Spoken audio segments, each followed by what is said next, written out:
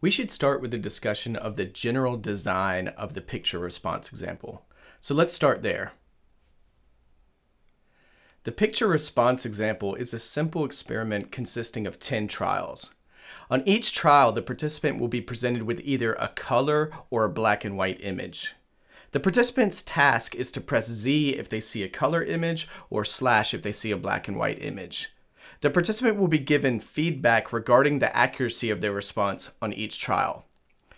Eye movements will be recorded on each trial, and reaction time, accuracy, and key press values will also be recorded on each trial.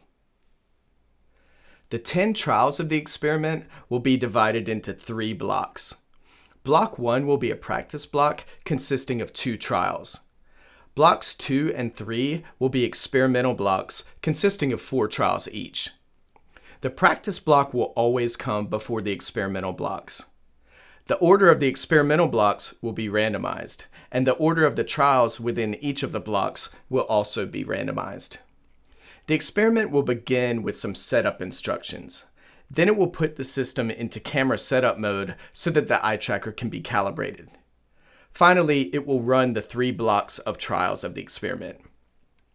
Each block of the experiment will begin with some task instructions and then go on to the trials of the block. Each trial will begin with a drift check procedure. Following the drift check procedure, recording of eye movement data will start before the onset of the trial events.